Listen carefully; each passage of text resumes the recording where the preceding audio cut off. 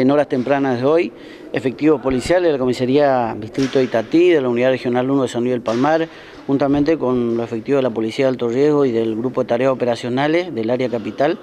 eh, realizaron un amplio operativo en la zona de Itatí, eh, mediante distintos trabajos investigativos que se venían realizando, y finalmente se logró la aprehensión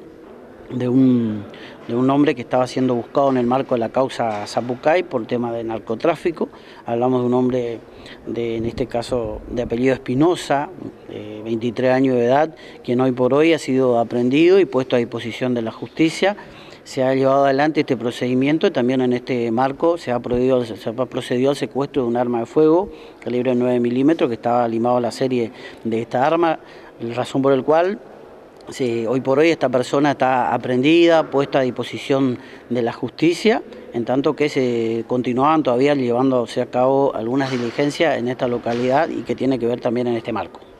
¿Se sabe en qué barrio se encontraba este prófugo comisario y si intentó darse la fuga en algún momento? Intentó darse la fuga ante la llegada policial, pero ya existía un perímetro, eh, ya se ha, digamos, previsto esta situación, razón por el cual eh, se procedió a la aprehensión del mismo. Lo que sí no hubo, por así decirlo, disparo o resistencia de esta naturaleza, sí en principio intentó darse la fuga, lo que motivó también la persecución policial y fue aprendido. Eh, hoy por hoy está alojado en esta dependencia momentáneamente hasta tan todo lo disponga la autoridad requiriente de donde va a ser definitivamente eh, trasladado, que es el juego federal de la provincia de Buenos Aires.